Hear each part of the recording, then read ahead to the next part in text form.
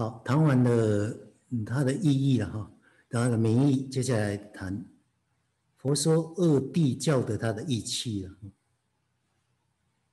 先总说，就是佛陀说法，就是依着人类共同认识的常识见，共同认识的常识见，就是我们凡夫也能够认识到那个世俗了，世俗谛，指出它的根本错误，就是我们认为的那个世俗谛，指出它的不就有它根本的错误了，根本的错误，根本错误就那个有那个自信见了。然后引众生进入圣者的境地，那就圣一地了。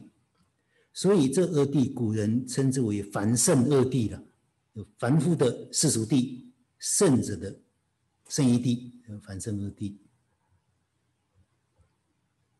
这是佛世尊最最善巧的地方，就是以人类共同认识的常识间，指出它的根本错误否则。否则我们从我们不能够认识那个地方说起，都对我们也没帮助。呃，就是从我们能够认识的那个地方说起，啊，就是我们人类共同认识的长时间。但是从这个地方呢，跟我们说到，我们我们所认识到的，我们我们以为他是有自信的，那是根本是错误的。所以，佛佛陀还是依着缘起法来说，缘起法。缘起法说他什么？一切法都是因缘所生法，所以他是没有自信的。这样我们就能够引众生进入圣者的圣地了。见地，这个就是圣义地。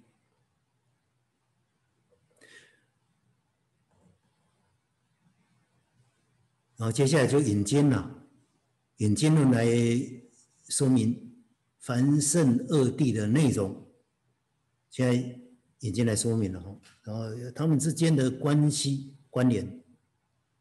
先引经了，引经来说就是诸法无所有，诸法无所有，如是有，如是无所有。事事不知，就事事就这个事情，就是诸法无所有，如是有，如是无所有，这个不知叫做无明。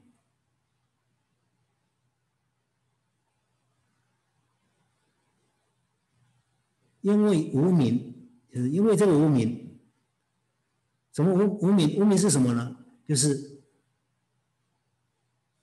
诸法无所有，如是有，如是无所有，这叫无名。因为无名，所以不能够见到诸法无自性，而执着它确实如此的有自信，有自信，所以变成世俗谛，就是凡夫所认识到的了。那是的，执着以为是。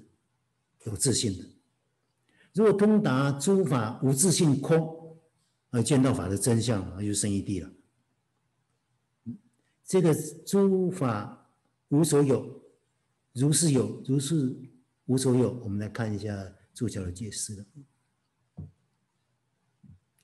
诸法无所有，这无所有，这个无所有，就是诸法的毕竟空性啊，有诸法的实相毕竟空性。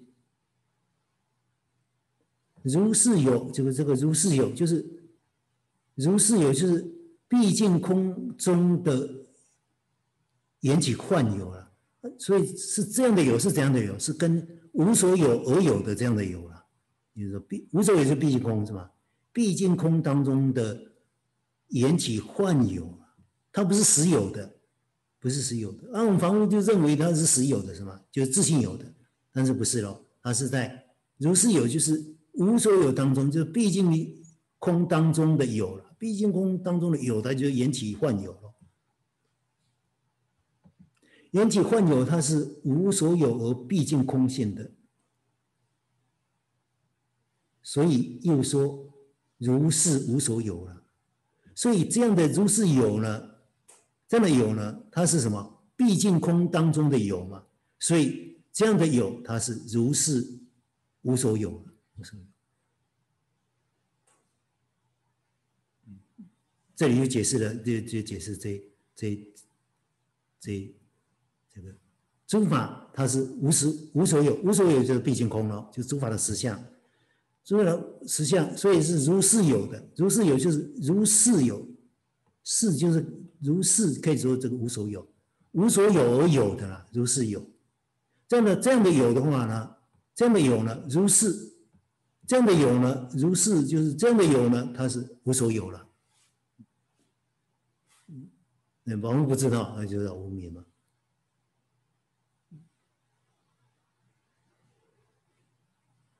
有，但是凡夫有无名所蔽，不能够了之，在此无名就是自信见了，无名就是自信见的心境上，非是事实。因为因为世俗谛啊，本来就是那细论相是吗？非死好像是死的，但是在在凡夫的心境上呢，就变成世俗谛了，就变成它是实有的了，变成它实有。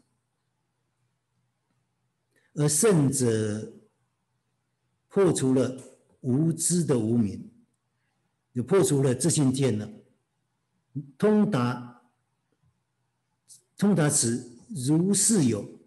的缘起是的缘起，它是无自性的空性的，就无所有的空性。就如是有，如是有，它是什么？性空缘起的嘛，对不对？缘起它是无自性的空性，这个性空呢，才是一切法的本性，所以叫生于地。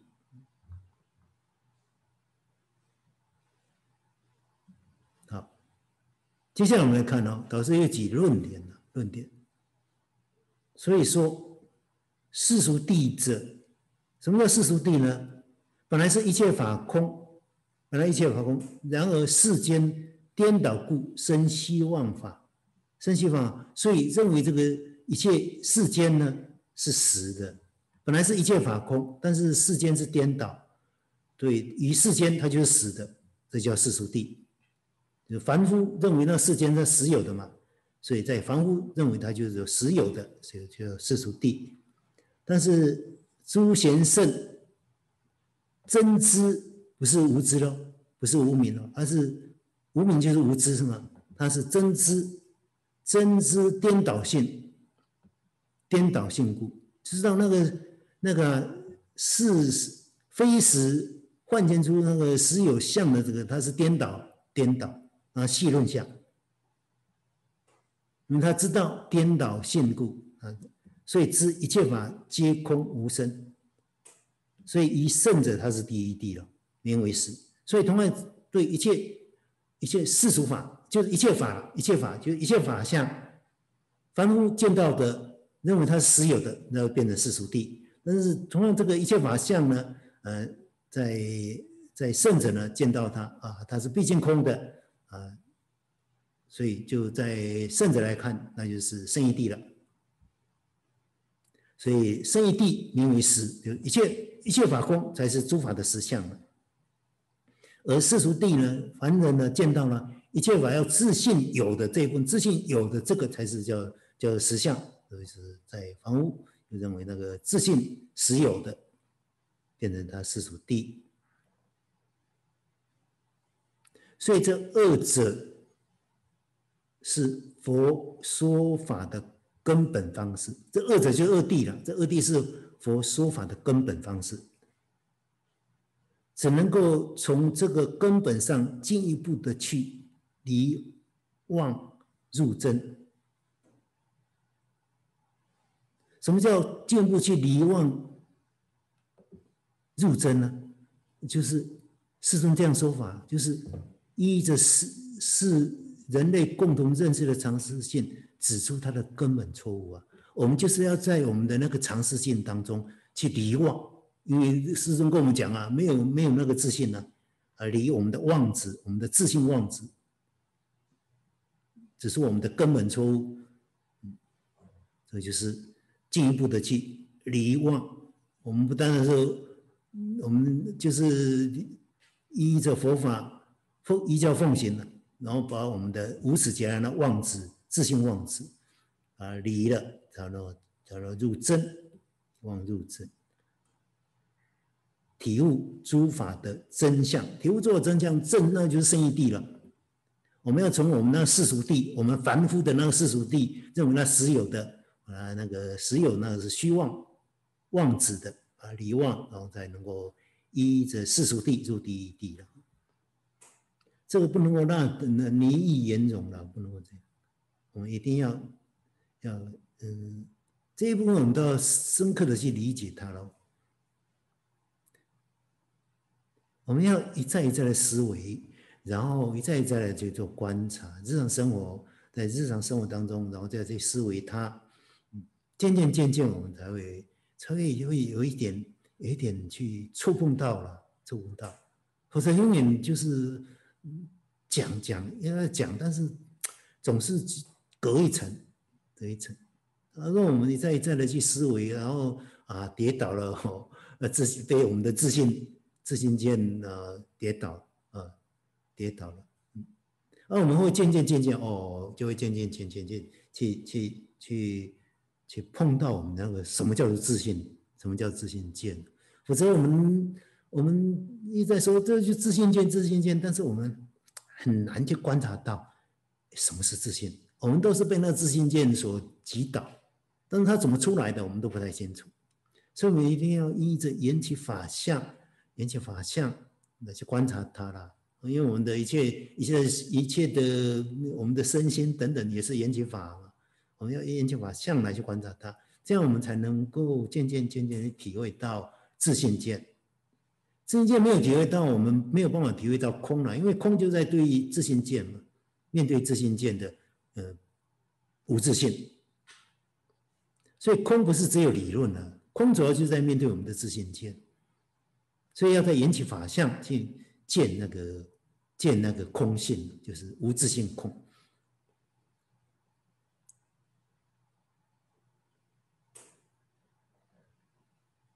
所以不要不要一下手一下手就一下手就就就就即有即空。我们一定要清楚了解了解他们之了解依着世俗地来了解圣义地了。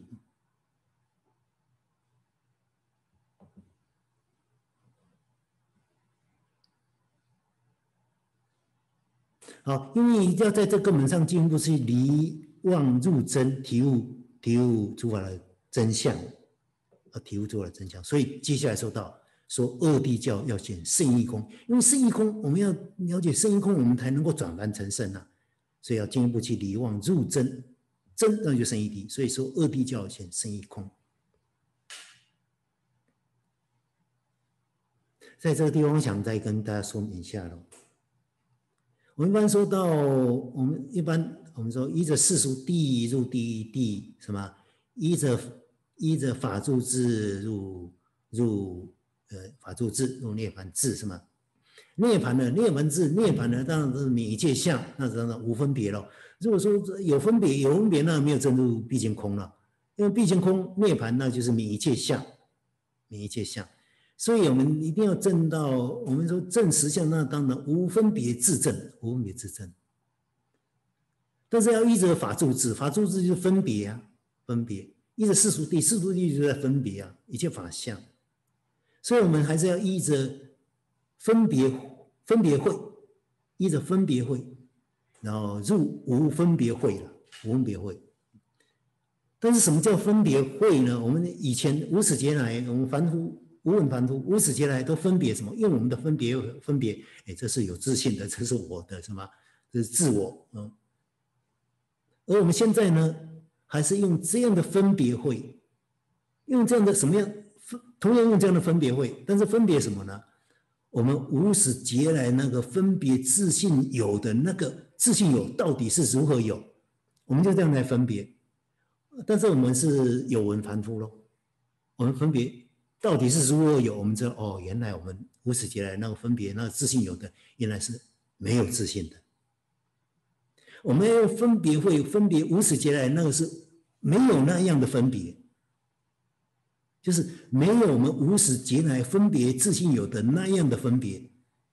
所以我们的分别会会接着哦，原来我们无始劫来那分别分别自信有的那个是没有的。这样我们就依着这样的分别会，就能够证入到无分别了。为什么能够证入证入到无分别？为什么我们的分别会能够证入到无分别智呢？无无分别会呢？为什么能够证到？因为我们的分别会现在是用在哪里？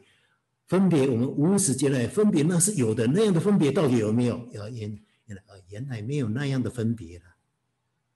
我们要用我们的分别会来分别这样的分别喽。这样的话，我们就能够依着分别慧入我们别知道。这一点我们一定要一定要了解了，一定要了解。没有这样的分别慧，不可能去去破除我们无始劫来那分别那自信有的，不可能。定力的分别，定力的定的定定的压，最多只是压服它，让它不限。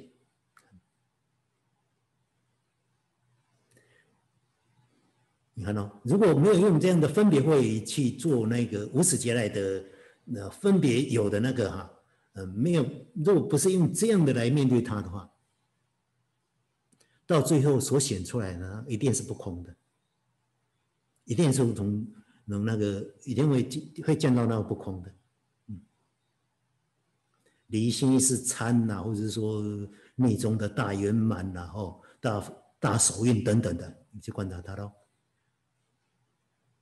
都要见到不空的，它都是就那跟自信见相应的那一部分的，包括像达赖喇嘛在说那个，在说到那个，他说到那个那个跟气相应最最深细的气相应的那心呐，观察它喽，嗯，都还是在跟那个真常唯心的真心喽，嗯，明明明明明明白白知道那一部分在做结合。所以，对于这一部分呢，我们千千万万一定要非常非常谨慎去观察它喽，因为这关系到我们的法身慧命喽。而且，我也在课堂上跟各位这样说喽：，那如果在读导师所理解的性空文明系，嗯嗯，在导师所理解的初级大圣跟跟阿含经的本怀。越了解一切法空，慈悲心是要更要跟着起来的喽。悲智交融这部分呢，跟着要就是就是我们自己要去观察了。我们哦，我觉得我对于性空缘起、缘起性空的这一部分哦，义理，我们我自己觉得哦，我觉得哦进步神速。我们自己要观察了，进步神速的话，我们的那个悲心有没有跟着相对的来去激发起来？如果没有的话，我们对缘起性空义还是不够深刻的理解，不够深刻的理解。而且这个悲心的起来，我们要知道，那缘起性空，因为缘性空没有破坏缘起法，缘起法是差别万象，那个叫在在在那个无量劫的大悲心情的这样的大悲心哦，这样的大悲心，要在无量劫大悲心情，这样才是的。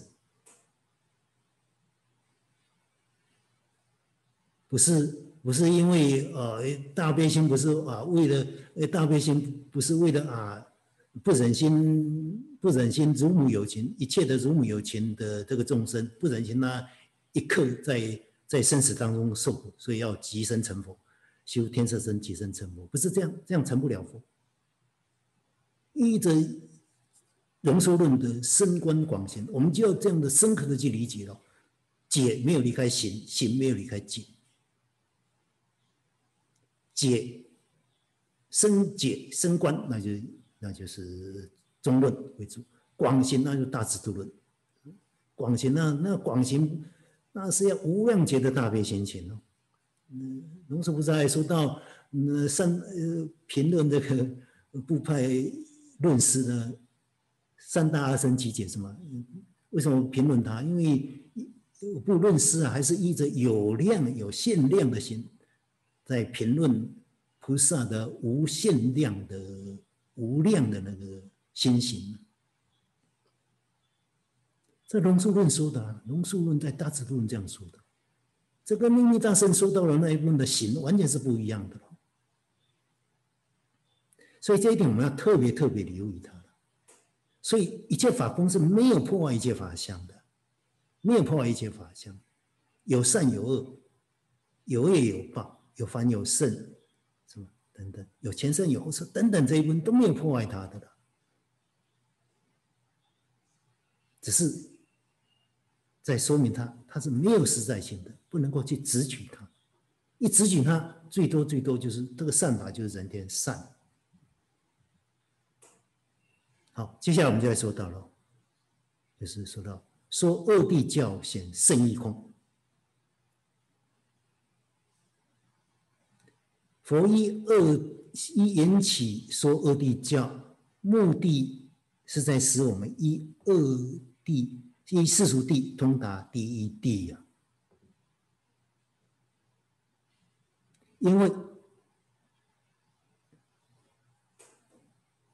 若不依俗地，不得第一地，所以要说世俗地。为什么要说世俗地？不依俗地，就不依不得第一义。说如果不了解缘起法相，就不能够得到缘起法性了。这要说世俗地，而且我们方伟知道只只能够知道缘起法相。说二谛，重心是在圣一谛，因为不得第一谛，则不得涅槃了。我们为什么要得第一谛？因为不得第一谛，就不得涅槃。这个意义是非常重要的了。众生在生死中，一切都没有办法，一切都没有办法。病根就在执妄执真实的自信。若打破自信的妄执，抵达无自信空，那就一切都解决了。或者哈，一切都没有办法，一切都在轮回了，上上下下的，上上下下。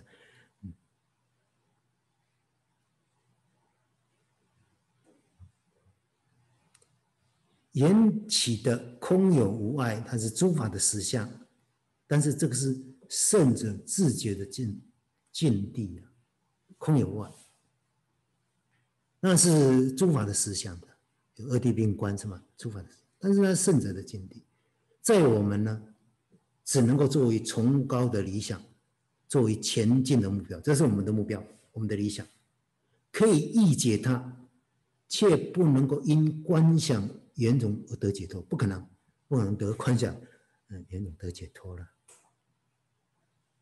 在自信见毫厘毫厘喜未破的情况下的这个凡夫啊，应该先侧重透彻一切空，打破这凡圣观，凡圣观就是。就是了解一切法空，转换成圣；不了解一切法空，以为是自相有，那就凡夫。关于关于空有无碍是诸法实相，但是我们凡夫那是圣者的境界，不是我们凡夫的境界。我们不可能因为观想严重而得到解脱了。关于这一部分，我想以一个这个，我们看一下注脚三十一啊，都是在《波若经》讲记，就是在《仙经》哦，《仙经》关于《仙经》的，我引了两段文呢，就是一个说舍利子，色不异空，空不异色，色即是空，空即是色，受想行识亦复如是，等等等等这些啊哈。这个导师给他一个科判，就是。容相即性观，容相即性观，它是加行的。容相即性观，我们常说，如果要导师，哎，容相即性观到底是什么意思？可以看，既然有几一，就有几二，看一下。第二个几二就是敏相正性观，敏相正性观呢，就是正正正敏相。容相即性就是就是色即是空，空即是色了，就是。容相即性，就是这个相呢，这个相呢，不是不是那个有自信的相，那是那是空相应的空相应的缘起假名有了啊，就是诸法无所有，如是有，如是无所有，那如是有。这个还是在加行呢，还是在加行。纵然是修，纵然是修会只观双运的，那个还是有漏会的，还是家庭会，他也不是解脱嘞。所以不能够观想言容就得到解脱，不能说啊这个色即是空，空即是色，这样就能够解脱，不是，而要接下来要真正真正就是是诸法空相，这诸法空相不生不灭不垢不净不增不见，所以空中无色无受想行识，那是超越的，空中无色无受想行识，超越它，超越它。不是在说色即是空，空即是色即是空，空即是色，这个还是在冥相即性观，就是空有无外，在做观察。我们还是依着它在做观察，但是我们要先证到什么？毕竟空，诸法空相。所以这个空有无外，这个是我们的崇高的理理想了，不能够不能够从这边观察，不能够说哎空有无外啊无外那就是了。我们要在。在这个地方去做观察它了，观察它。啊，正到毕竟空当中呢，然后再再从空出假，从无假沿土收身，然后再渐渐渐渐呢，它就可以什么？渐渐渐渐当中，它就它就能够二地平观了，是吗？五地的菩萨在毕竟在在剑中，他可以二地平观。而，如果呢，呃，如果八地菩萨，他就可以，他他就可以在。自力当中二地并观，然后佛呢，在自力利他当中呢，都能够二地并观，那是圣者的境界了。所以我们现在呢，先要先侧重透过一切空，打破这个凡圣这一关再说了哈。万一这一部分我们看注脚三十二了，这其他，这个这个了哈，在这个在这个地方了哈，这个这个。这个地方不能够严重了，就不能够体贴经义，有严重的请见。嗯，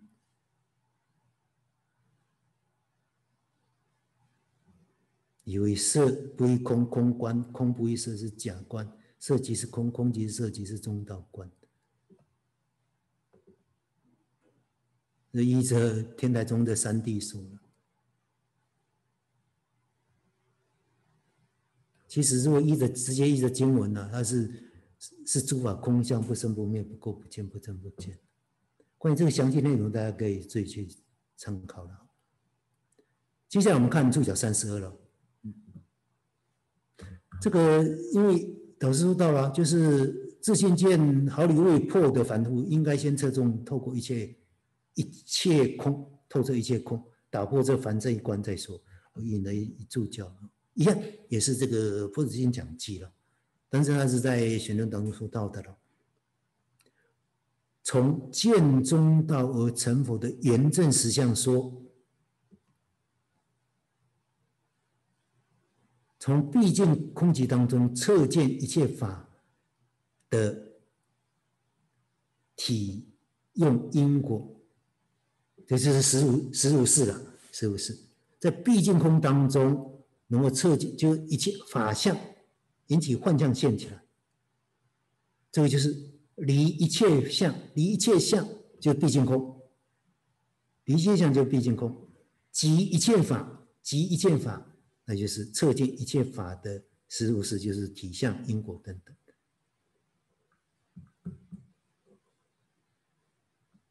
呃，如华经说到了，唯佛以佛乃能。就见诸法实相，这个诸法实相哦，啊，所谓诸法实相就是实如是了，实如是。他说，所以，所以言空即言即相，无不是如实的啦。因为像华经说到了，诸法实相当中就实如是，实如是就是在言起法相的。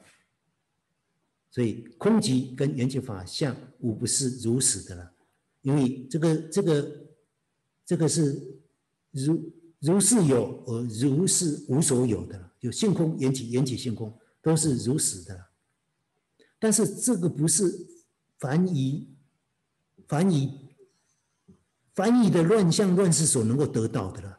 我们凡夫、凡疑、凡夫的乱象呢？乱象就是这个细论相，就是那个自信相，也不是那乱世我们的，因为那个有那个自信。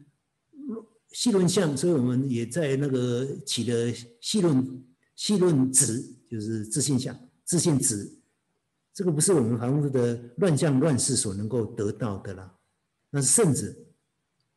所以必须离细论的虚狂妄起相，必须要离这个才能够才能见到见到空即与缘起相无不是如此。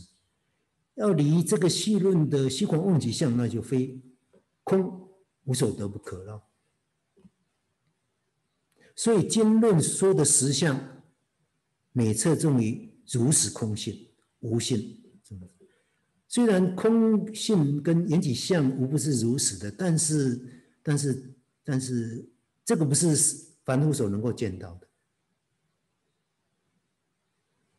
一定要透过透过空无所得，那就是凡圣观，一定要透过这个，才能够见到空即与缘起相无不是如此的了。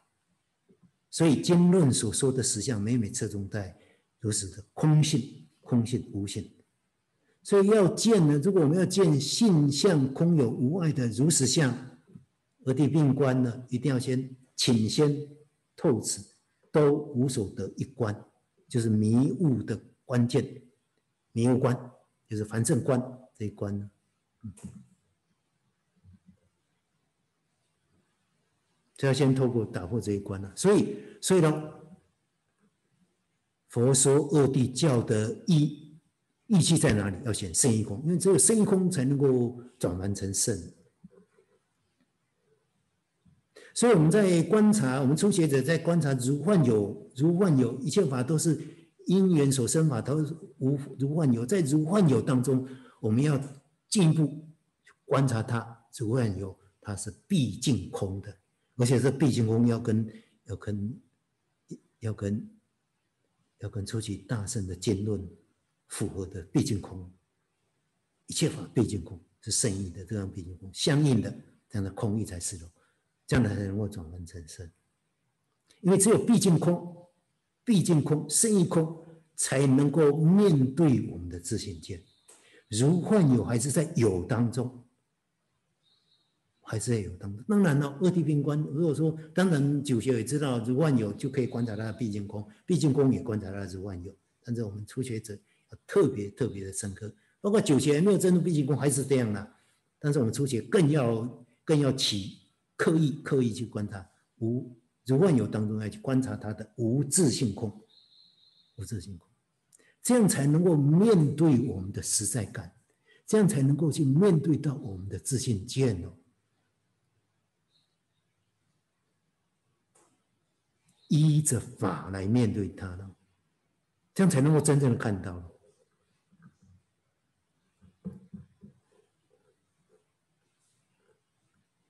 无自性空才是一切法的真相我们要见到这个，才叫见法，见法，才叫见地，见地，见地才能够得到。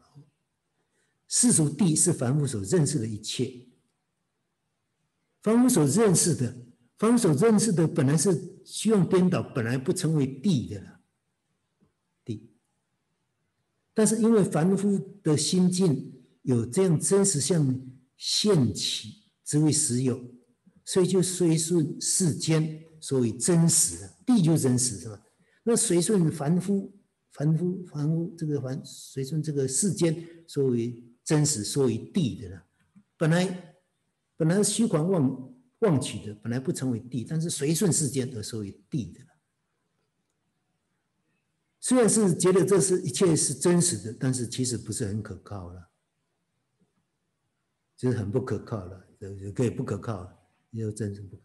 所以凡夫给世尊呢，就给我们指出，给我们这个凡夫指出认识中的希望，认识中的希望，就是我们在认识当中妄取有实有的这一部分，它是它是妄取的了，它是没有自信的，显示圣者自觉的真实。那圣者的那个自己的真实，呃，跟凡夫我们所认识的真实是呃不一样的，所以我们如果说要自信，自信这个名词非常好，自信呢就是哦呃那个呃真实实在实在。如果要说圣者的那个真正的实在是什么呢？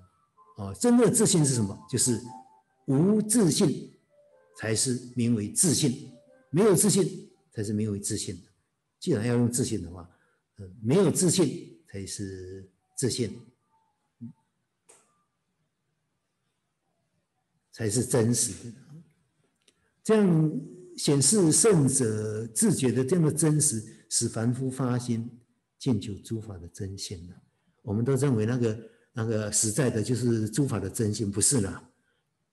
反而那个就是让我们生死轮回，完全在生死当中完全没有办法的根本原因，就是在这个认为那是真实的。这样使凡夫真正的进求诸法的真实，诸法真实就是圣者所自觉的那一种真实的。这个我们就可以去观察它了。嗯，呃，世间世间所做的真实，不管是。世间的学术啦，不管是一些的科学、哲学，还有社会科学，或者是一般的宗教啦等等的，嗯，看他们所求到真实，都还是有那自信健在的。这就让我们在这个在这个生死当中完全没有办法，一点办法都没有的，就是那根本的原因就在这里。看到像像科学这么进步，进步到看到物质这么进步，但是，嗯，但是我们的因为因为科学也没有办法去破除我们的自信见，嗯，所以从这里呢，呃，虽然科学进步了，但是我们的那个私欲也跟着增加了，是吗？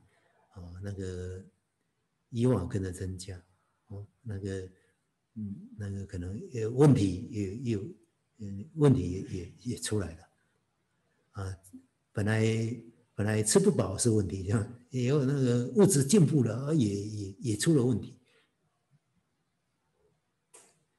所以所以没有办法，福德东来西又倒，根本的根本的问题就在自信见，这需要破除希望不死，希望希望不死，要破除它了，有妄取为真实那个，其其实那都是妄取的。开显一切法的无自性空，所以一般人觉得真实自信有的，现在说不是真实的了，所以从观察到觉悟，就是误解到这个不真实的无自性，无自信，这才能窥见一切法的真相。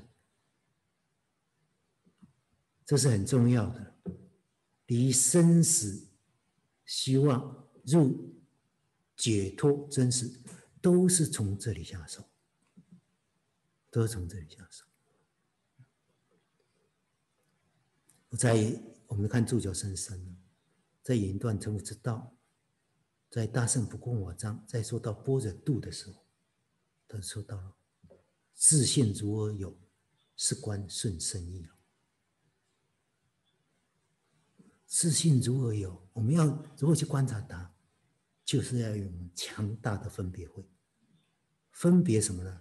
我们无始劫来都分别，这个是自信有的，到底是如何有？这样我们就就可以从我们的分别会去分别到，原来无始劫来的那个分别是没有这样的分别的，就能够证入无分别智。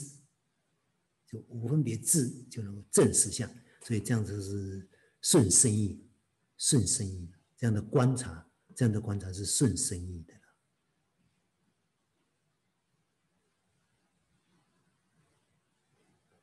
这些都是都是需要我们一再一再的去思维它，都需要我们，否则初学者不容易了。不容易理解他的义理了。我刚才说到了，大家都在讲一切法空，是吗？也在讲中观，但是要深刻的理解不容易，要一直来起广行，那更不容易。我们一定要非常非常的谨慎小心，因为这关系到我们的法身慧命。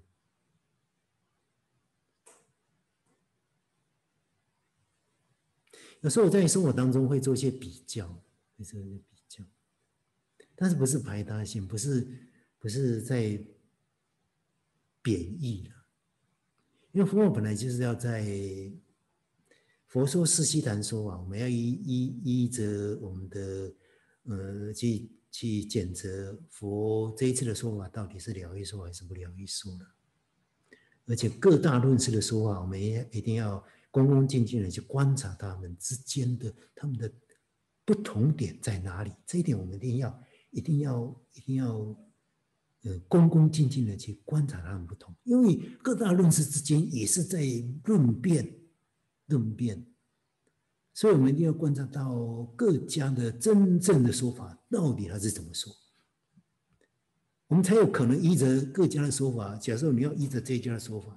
你才有可能真正依到他了，或者还是依着我们自己的自己的那个想法去理解。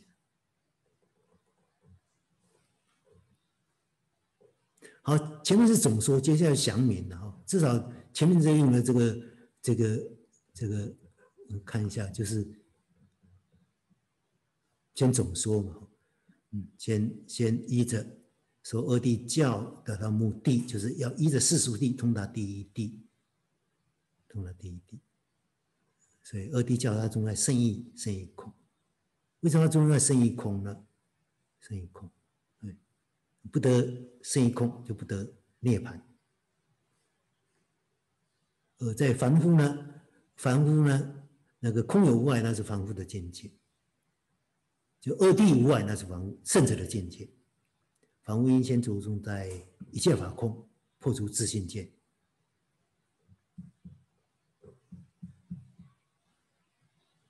因为破除自信见，为什么要破除自信见？无自信空才是一切法的真相。我们要要见到这个真相，才才能够真正的见到法，见到地，生于地，见到地，才能够见地，才能得到，才能转换成圣。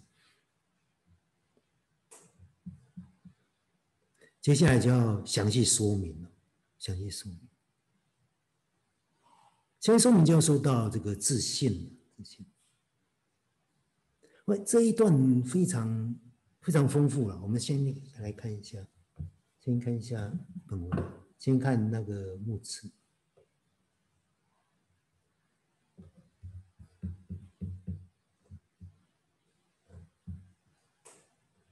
这样我们。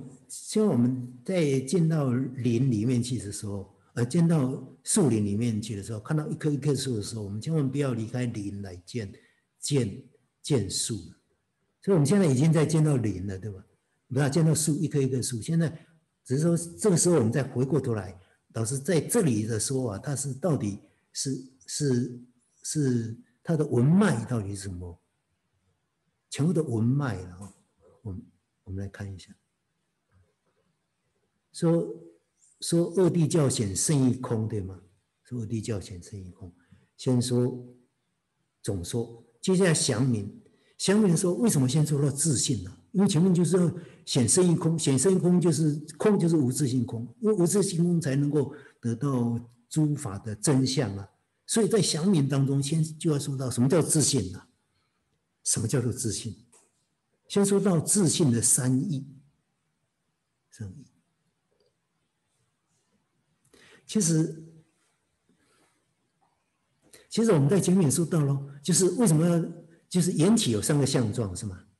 缘起有三个相状，我们要在缘起上去观察它的空性，因为缘起法有三个相状，所以观察这个三个缘起法的三个相状，那个空相呢，也有三个意象也显示出来了，而自信呢，自信。也不会无缘无故就有那个自信见，自信就是在缘起相上不了解缘起相，所以有他的自信。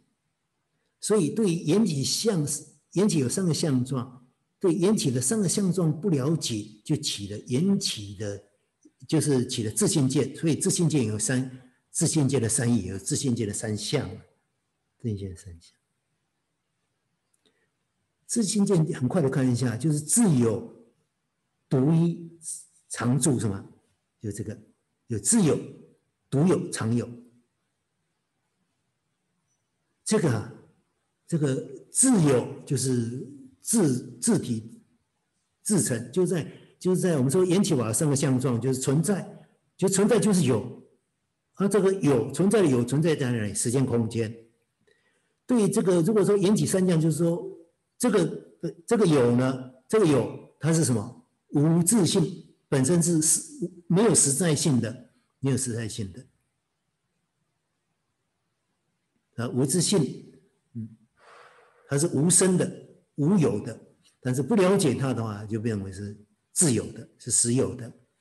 本来在这个存在的法，在时间上呢，它是无常的，它是无常的；在空间上呢，彼此之间呢，它是无我的，它是没有独一性的。但是有自信见的人，在空间彼此之间，他认为他就独一的自己存在的，而在。在空在时间上，呃，时间上呢，本来缘起相呢是无常相，但是有自信相的不了解它是无常相，它就常住的了。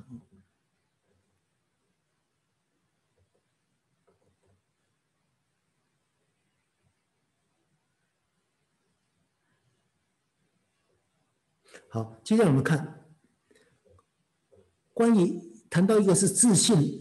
三自信是吧？那接下来为为什么要谈到空观呢？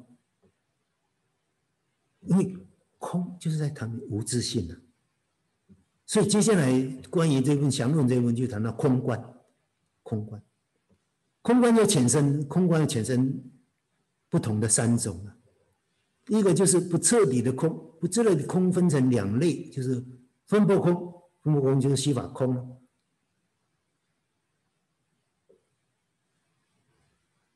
然后彻底的、彻底的空观呢，一切空，那本性空、自性空。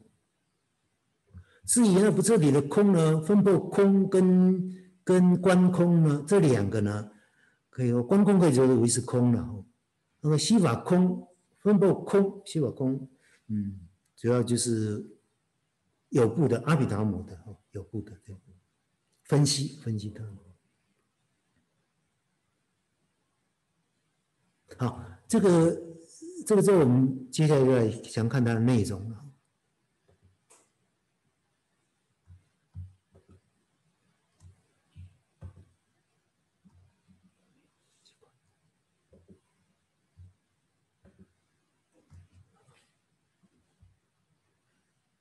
所以接下来就要谈到自信的三义了哈，自信三义啊。第二个就会谈到关于谈到自信的话。又谈到无自信，谈到无自信的时候，会谈到空，空。而什么是自信？自信就是自体了，自体。我们见闻觉知道的总结的，它是这样的实在自体，就是此是此，不是彼了，此是此，如此如此，如彼如彼的，就这样的实在自体，实在自体。如果说以缘起的三相来说，缘起的三相就存在，存在在时间空间。而这个时候我们见闻觉知直接观察到的呢，就是没有观察到时空相，就直接观察到存在，存在这个自体，这个自有自体，那就自信了。我们总结，它是这样的实在自体了。如果从根本的自信见说，从根本的自信见说，这就是寄生我执了。我们不假分别，是分别，任意直觉当中，任意直觉就直觉当中就有一个真实自成的影像浮现在心中，这不是从推论而来的，不是从推论而来的，而是从从就是任意自觉当中就有的，那就是我们如果一般分成自信值跟分自信值、自信值跟分别值来讲，就是自信。自信就是寄生自信值了，寄生的跟分别的来说都是寄生自信值了，所以这个叫做根本的自信见，根本自信见是寄生的，寄生的。因直觉中有这个根本错误的存在，所以联想、推论、思维等等都含有错误，而学者们就知道种种错误的见解了。前者他就是寄生后者是分别。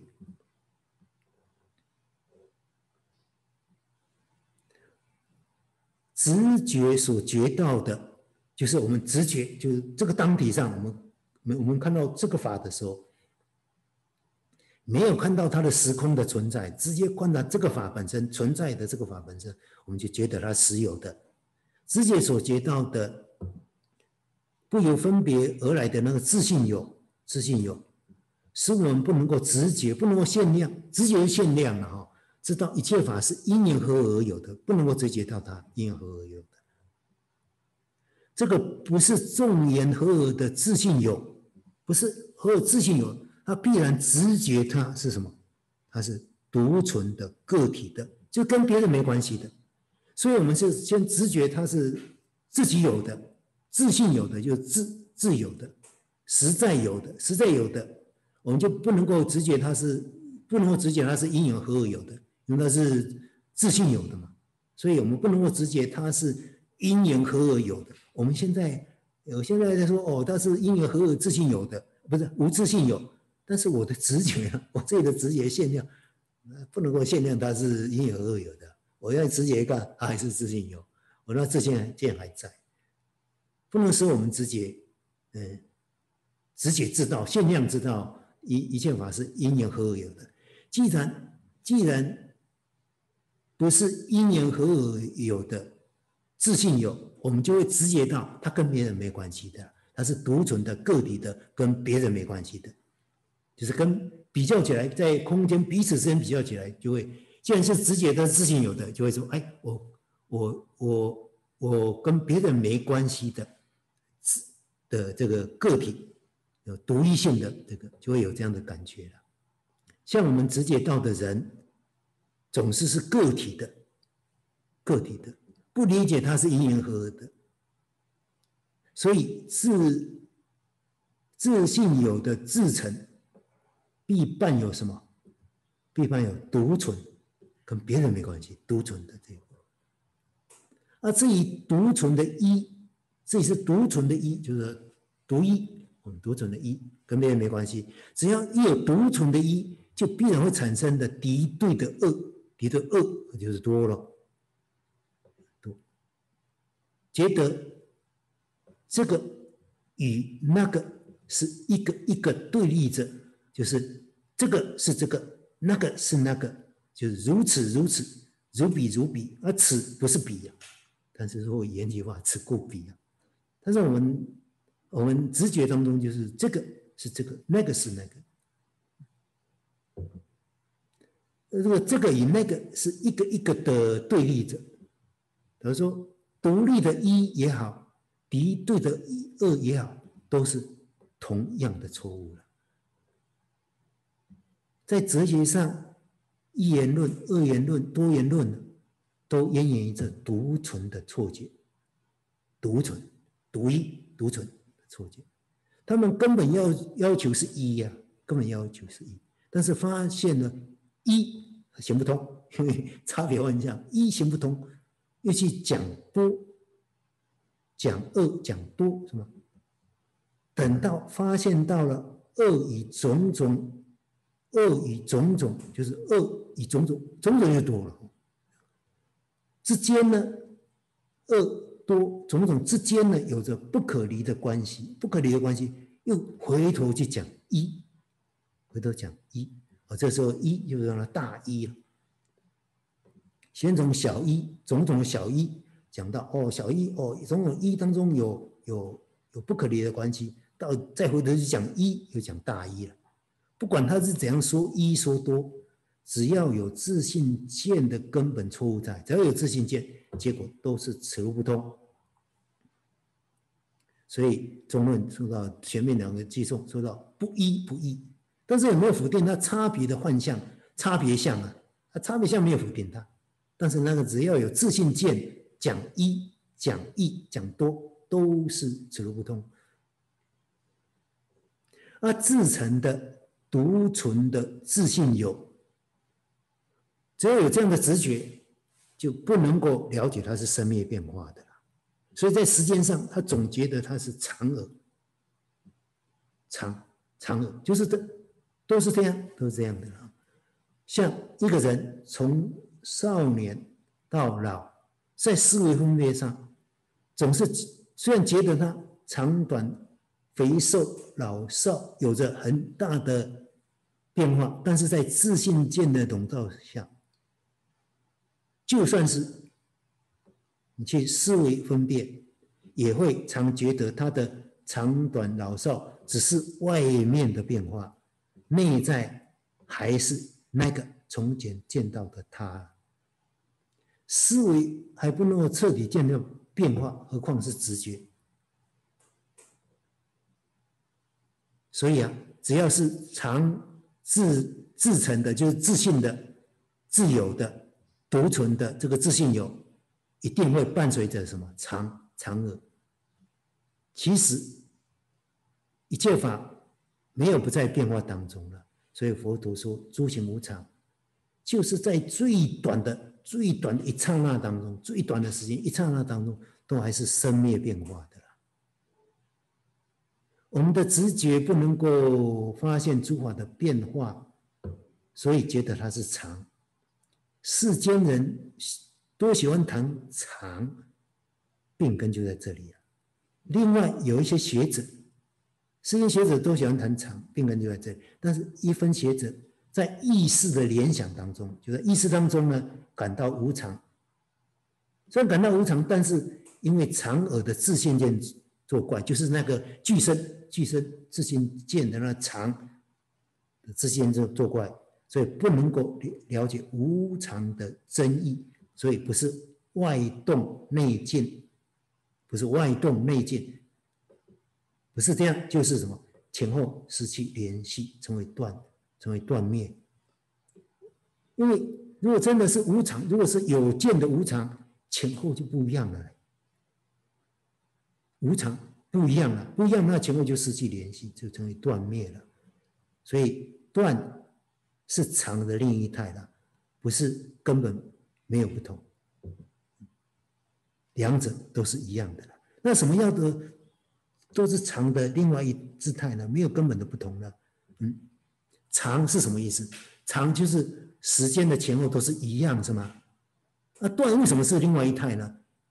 就是另外一态就是什么叫断呢？长长长是前后相同，是吗？断是前后不同。什么叫前后不同？前面的是前，后面的是前面的是前，跟后面不一样；后面是后后跟前不一样。啊，前呃。前是前的长，后是后的长，完全不一样。所以，所以都是一样，都是都是长的另外一个姿态的，就是前跟后不一样，嗯，它就断掉了。前跟后不一样，就是前是前，后是后。前是前，然后前就是长。以前来讲，它不是到后嘛，所以它前永远是前，后呢就跟后面没有关系。所以它长的另外一胎，没有根本不同，跟二跟。二与一是一样，这这个这个就好像一样的，这个一样的，一样就是不管它是一还是一都一样的。你看到，你就说，如果说前跟后是一，那就长；前跟后前跟后是一的话，那就断，断，这都一样，都是执行，都执行键。好，因为时间关系，我们今天就说到这里了。好，谢谢师傅。那我们现在开始呃问答的时间。那如果有问题想问师傅的，请您举手。呃，请明阳法友发问。啊，我我师傅你好，呃，我问两个问题哈。那个上一次的时候，呃，您在讲声闻声闻称的时候的修学，将那个生灭的有为跟极灭的无为。看成两节，然后所以呢有有跟有有跟无这个隔开的，然后例子是用则灭无为来作为例。那我想第一个我想知道这个则灭无为的意义在哪里哈？那第二个问题就是说由则灭无为呃引起的的问题，就是在部派时代的时候，那大众部把这个。无为分成九无为，那其中也有则则灭无为，又有缘起无为。但是我们的了解，在在阿含经里面，缘起无为是是是属于这个杂染的。那么这个缘起无为，难道它是属于幻灭，还是说它有一个理想的一个目标在那边？如果要立立上这个目标，它这个世间的那个流转，它才能够有有有次序的运转。所以我对这两个无为有点困惑，请法师开示。嗯，好。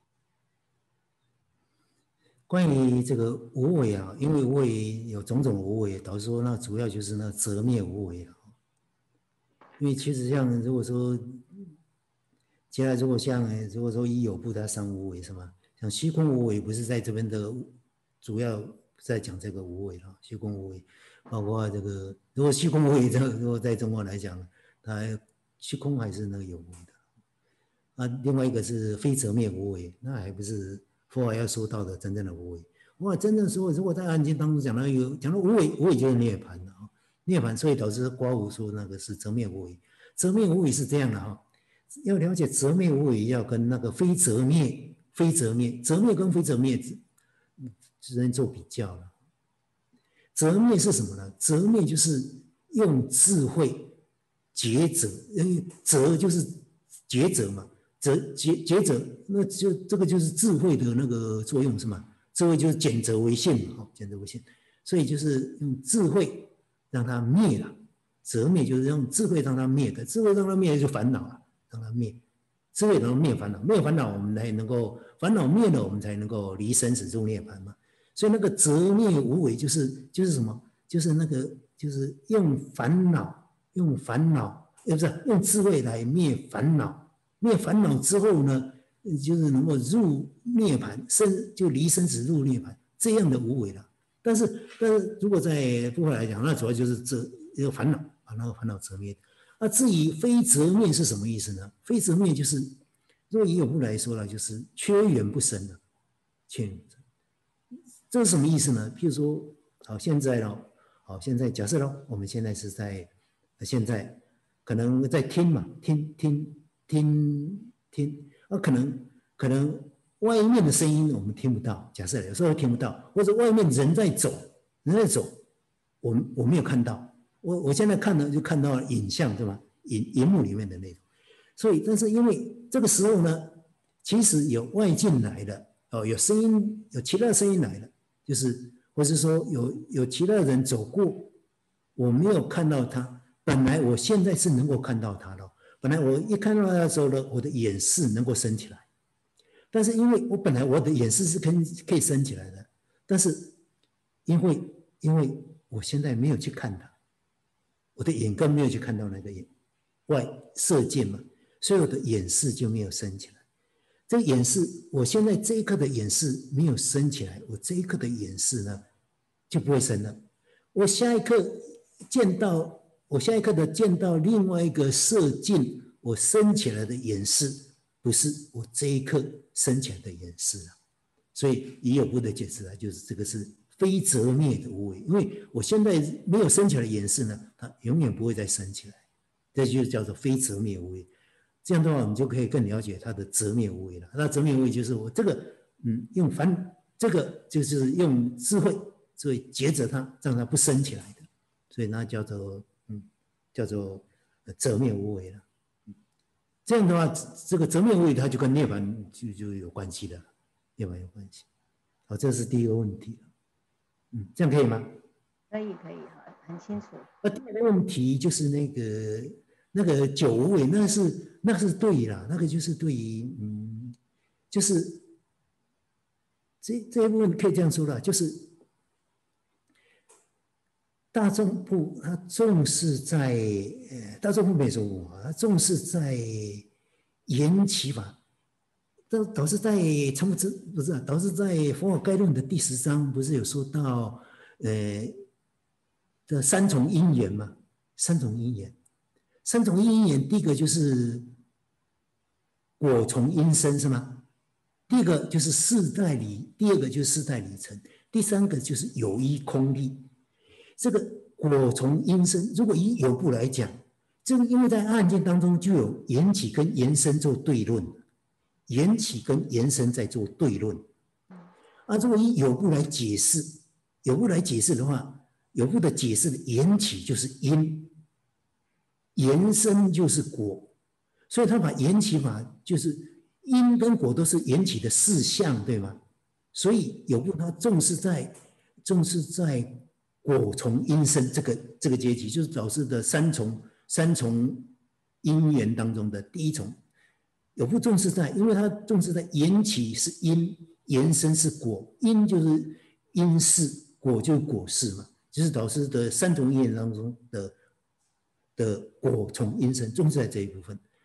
啊，至于至于那其实因为肩部从有不出来的，而唯是他从从肩部出来的，是吗？转重，所以所以所以唯识学者也是重视在重视在缘起相的分别了。也是重视在果从因生这个层级的。那至于大众部，大众部前面可以说是上座部，是吧？后来就是那大众部了，主要就是那大众部要分的话了哈，就是大众部呢当中的。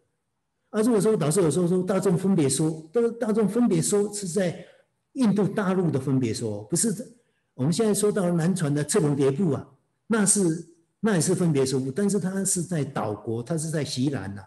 如果导师一般说到了大众分别说不来说的时候了，到基本上很多很多都是因为因为在在印度大陆的那个大众部跟分别说部，它会会有一种交流，一种交流。分别说部为什么会从上座部分离出来，也是它有一些义，它会跟跟跟大众部比较相应的，他所以他从上座部分离出来。嗯，所以如果用用大众部来说的时候。他会更重视在哪里呢？会重视在，如果说以导师的三重因缘来说，他会更重视在重视在世代里程呢。所以他怎么解释缘起跟延伸呢？他解释的缘起呢，他是重视在在的缘起知性，缘起知性就是就是就是十二支的那个知性，就是他的。如果以老师来讲，说系列性。他重视在这一部分的，引起知性的这一部分，所以他认为延伸法，延伸法是讲因果，延伸法就讲因果。而如果以有部呢，它是因是因，它是延起法，果呢是延伸法，而大众部呢是把那个因果法都列在哪里？延伸法。这样的话，他把那缘起法、缘起法重视在他的理性呢？理性什么理性？就是缘起之，就是他前后的次第不变性。就是缘起法，如果以导师的呃，包括刚才是举那个佛法概论是吧？包括导师在成佛之道啊，成佛之道的那个三层共法章也说了这个，三层共法章也说了这个，就是就是。有部那个大众部，它重视在它的缘起的系列性呢，就十二支的前后的相续性的这一部分，就因为重视在这里，它因重视在这个里，所以他他说缘起法它是无为，它是无为的，但是它是离开有为说无为，它缘起法缘起离开有为说无为了，而导师的导师的世代里程的这个理呢？也是说到缘起知性跟圣道知性是吗？这个是理，但是这个理呢，没有离开事的理了，它是没有离开十二缘起知的这样的这样，所以这个这个理呢，哎，它还是有违法了。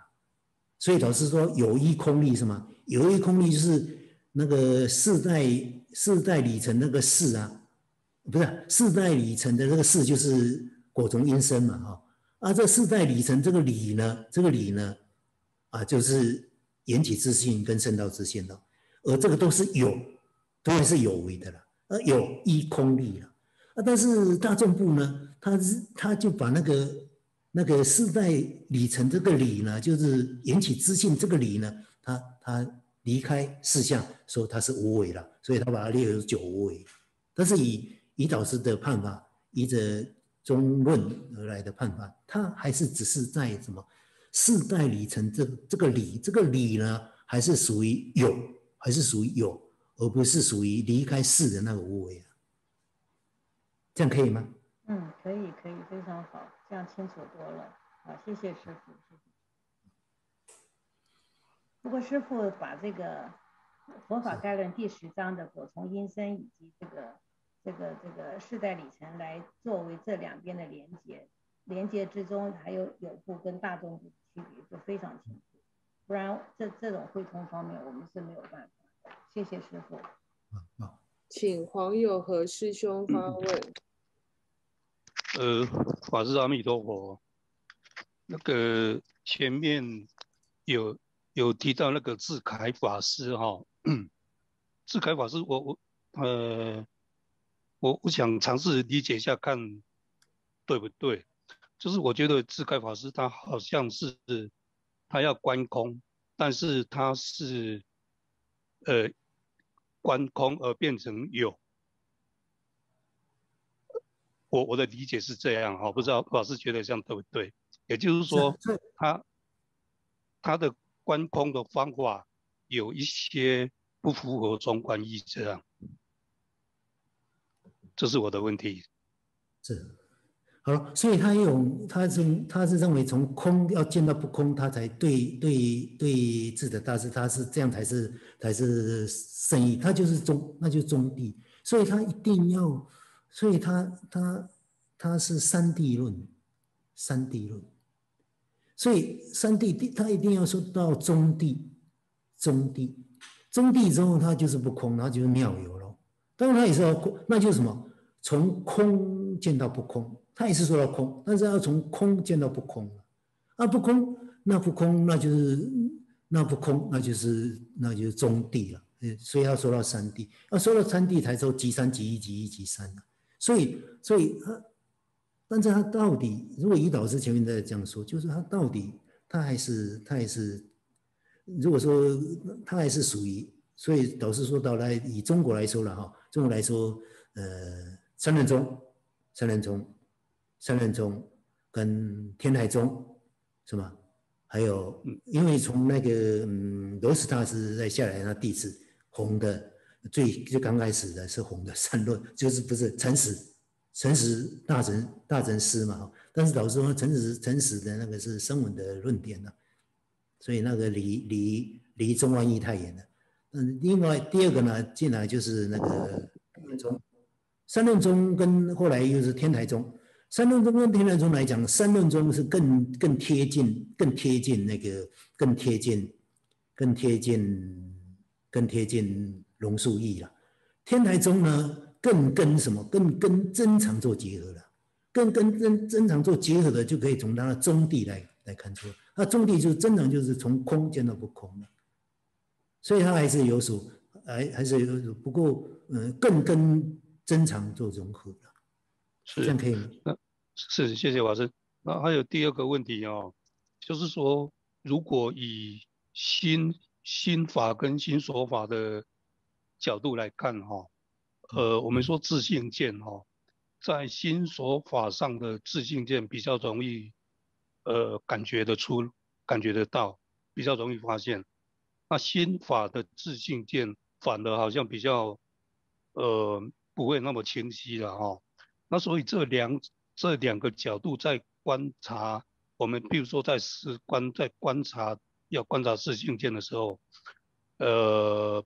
不知道导师是不是给我们给我们一些什么样的比较有用的建议？这样，谢谢阿弥陀佛。如果呢，我我现在说了，我们就对那个，我现在建议你啊，对《佛法概论》的第八章，你先好好的看《佛法概论》的第八章。嗯。我的心理观，那才是真正真正人就观察到。哦，你说那个新意识那一边是不是？新意识那一边哦，好好观察。那第八章。你前后观察，你不要只是看一遍，然后更深刻的去观察它喽。哦，我看很多遍了。对，嗯，但是还不够喽，还不够。我说看你，不是看几遍的问题啦。我说，假设对这个深刻的意思了解，当然也不是一直在看那个就能够看得出来。我们说，我的意思来说，我的我们的法义不是会更这个增加吗？我们可能哦，三大系的理解我们更增加嘛。更增加的时候再回过头来看它，再回过头来看它，这样可以理解它吗？不是说每天他一直这样看的，我们还是要看别的地方。但是我们的知见更高的时候，我们就可以更看到第八章的深刻意、深广的内涵，可以看到，可以看到喽。它会解决很多很多的问题。啊，但是如果要很快的这样来说，就是我不了解你如何去观什么叫心，什么叫心所。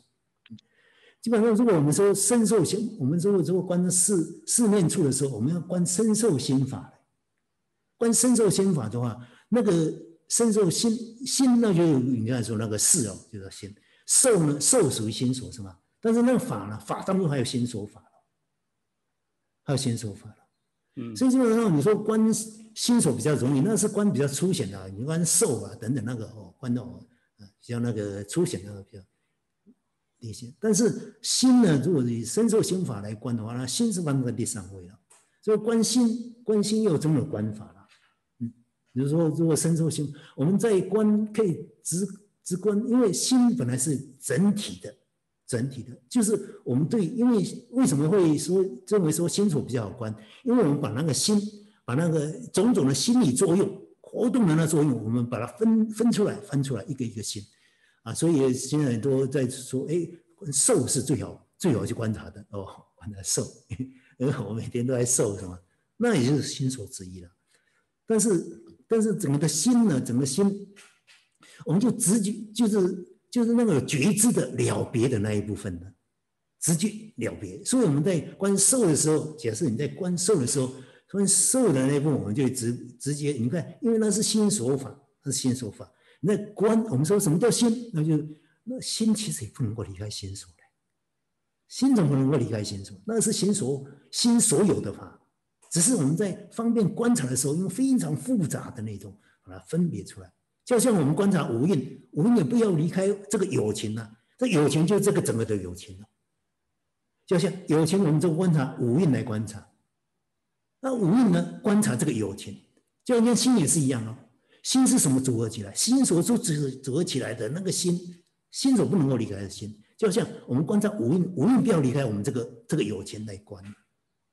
所以，所以这样你就这样的这样的这样去观察了，这样的体会，先用在义理上了解清楚来，这样我们在随时你说要观察观察我们的心，呃，就跟整体来说，就是跟色法跟我们身身跟心之间，我们的观了。哎，我们就可以理解到心是什么了。这样，而身是什么？就这样观察。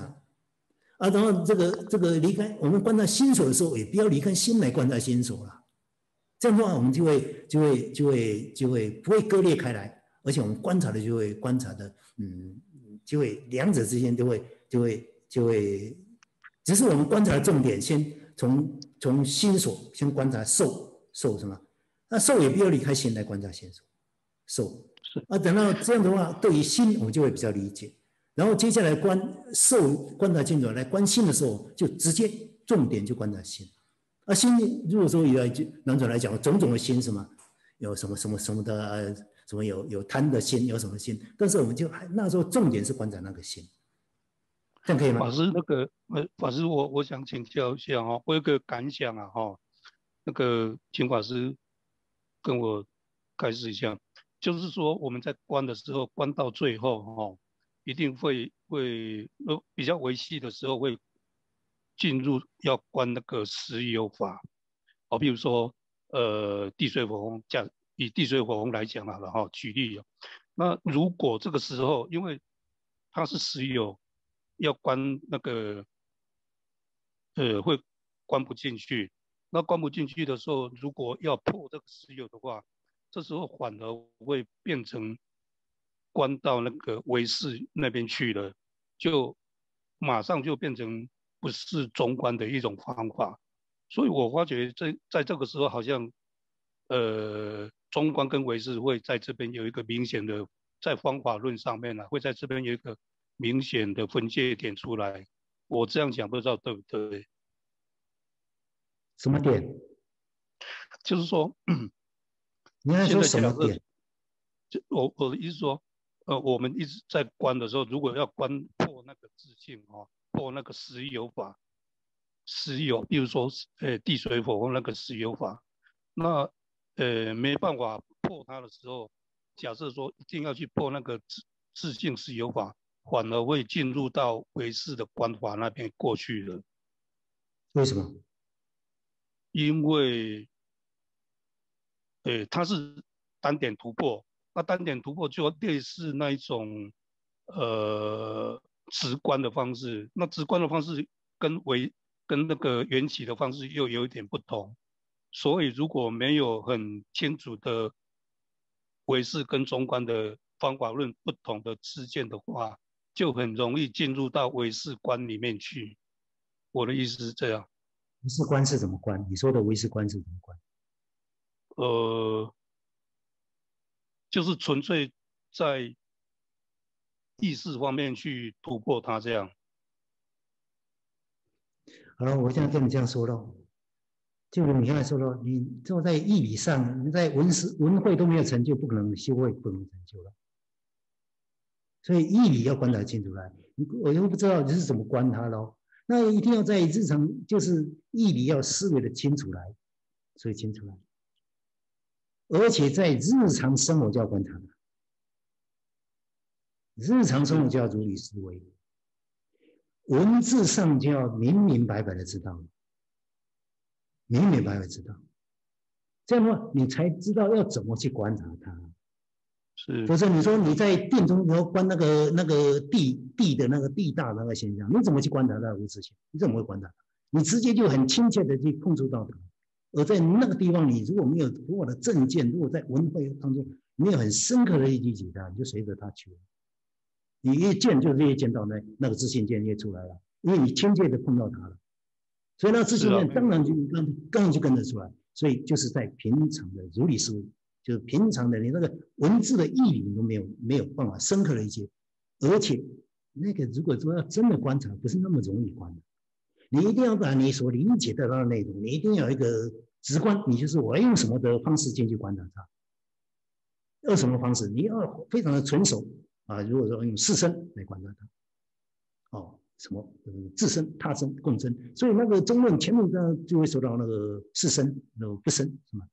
啊，但是如果都不生，你要有，我们要有充分的义，要充分的义理，在文字上就要充分的义理来了解它。什么叫自身啊？在这样的这样的因缘之下，它的自身它到底是怎么样的意思？这个我们要理解它，才能够有再有这样我们碰触到这样的实在的，因为这个就直接很亲切的感受到的，身体就很触受，就直接感受到那一个，那那是我们更要深刻的、深刻的一层的义理义。啊，然后就是深刻的，这样才有可能，而且要收摄出来，然后对着这个方，才有可能，才有可能真正的在在真正的观察。而这个一定要透过先从文会，然后日常的如理事务，如理事务当中要做善事，心胸要广大，要去行善。而依着依着，如果依着如果大圣来讲，依着大圣三心，好好的去去做。当然我们刚开始做的，像我那个做的不像样，对吧？但是就是要依着这样。一次一次的这样文思文思文思，那才有可能，才有可能在在修会才有可能渐渐渐渐的。我不是说要这样才去才去做了，不是这样。我们说我们要吃地，我们要先理解它，要先，所以我们要知道这个问题到底出在哪里。这样可以吗？是，谢谢老师。我刚刚那个你你问说要怎么关那一部分哦，我我有尝试直接关他的自信啊。就是说，譬如说地，就直接关他的自信地这样，那呃体会出来就是有种自信空的那种，那种，嗯，那那种体会吧。那这样可以吗？我不知道，因为你所所谓的体会空、自信空，我也不知道你的自信空是什么意思。我也不知道你如果直接去观察地，地去观察它了。但是是这样的，我跟你这样说喽，我们对于我们所所直接提认为是这样的话，我们自己就依着喽，再回过头来依着依着经论，依着文字，然后去检验我们自己的那一部分。而且我们体会到的那个，我们在日常生活，我们去观察我们的日常生活，我们所体会到那个自信空的那一部分，在日常生活去观察，去观察。而那样的空跟跟跟中观的空义有没有？有没有相应的那一部分，那个都可以去观察到，对我们的自信见的，面对我们的自信见的那一部分，我们自己可以去观察它，可以自己观察。那个人自信见的，如果是面对到自信见，我们如果说真的体会到跟跟那个，如果说跟那个法义，跟我们说初级大正龙树论的空有有连接到的时候，我们自己会感觉到有不同。我们现在观察那个空意会有不同，会有不同，会跟我们以前以前没有学习到之前那个空意，我们对啊，我要放下什么，我要不起执着的那样的，我们自己会觉得，会觉得有不同，不是说马上就改变，会知道有不同的方向，这一点可以自己去觉察。因为你这样说，我也不太能够知道。你说空观察空啊，自己有那个自信空的感觉，我不知道的那种。但是我是这样的建议，自己可以去观察它。有没有跟以前觉得啊，我放下了，我觉得那个啊，我的直取有有不同的面向来去做，去去要去面对它的那一点，我们可以自己去观察它，这样可以吗？是，谢谢法师，阿弥陀佛。请周景师姐发问。呃，师傅好，我想问一下，就师傅前面讲到一个问题，我有点没太听清楚，就是说，呃，观。众生苦，起大悲心，不能成佛。呃，后边讲要关什么的时候，我就好像没有太听清楚，想师傅能不能再说一下呢？谢谢师傅。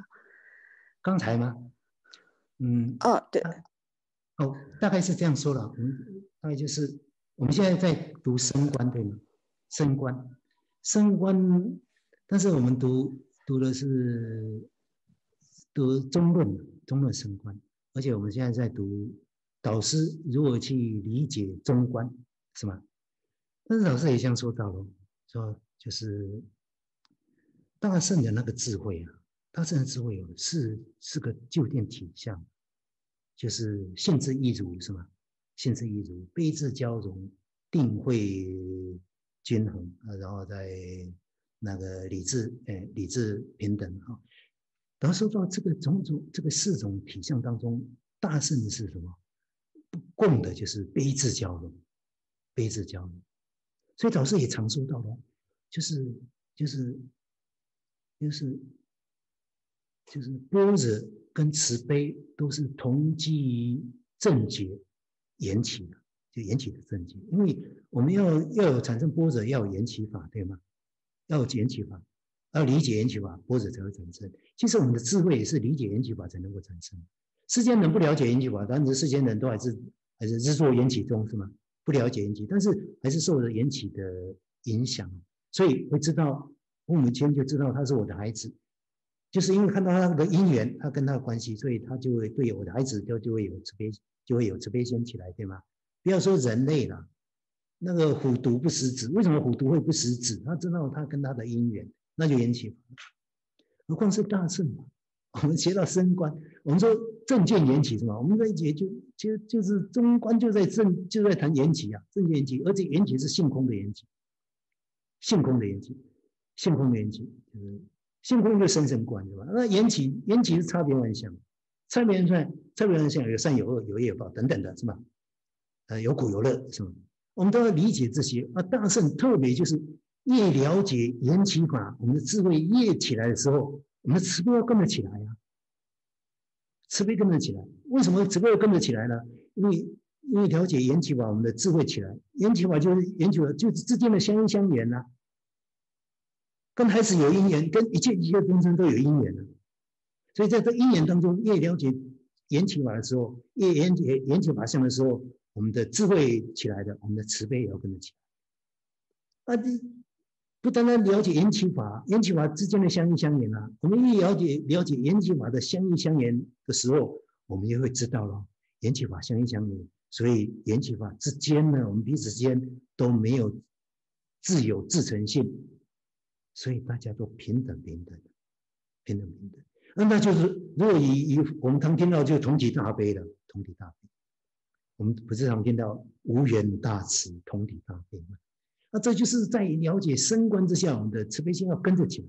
所以我说，我们如果对哦读中观，我的那个哦对缘起法相的意义非常深刻理解，我现在观察到自信空，哦，观察到我的执着也越离开了，我越离开了，也也没有执着了。这个时候啊，好好的观察。我们这时候，我觉得我的那个智慧提高了什么？我们这要观察，我的慈悲有没有跟着增加？如果慈悲没有跟着增加的时候，有问题哦，有问题。那不是中观要说的那个波折，呃，中观所说的波折一定那个会跟着智慧跟着提高，因为中观还有广行，对吧？龙树论那广行啊，大智度论那就是广行论啊，广行论无量劫道被心行的，嗯，所以所以智慧提高了，慈悲要跟着提高，这样可以吗？呃，可以，呃呃，特别感恩师傅啊，就是。哎，今年大年三十嘛，然后听师傅讲课，就是我我今天听的也是特别法喜的，然后真的很感动，因为我也是当老师嘛，然后我在听师傅讲课，也觉得当学生真的好幸福的感觉，然后就不多说了，啊，也祝师傅们呃，就是师傅新年快乐啊！请师傅带领大家先做回向。好，大家请合掌，愿以此功德。愿以此功德普及一切，普及于一切，我等众生，我等众生，皆共成佛道，皆共成佛道。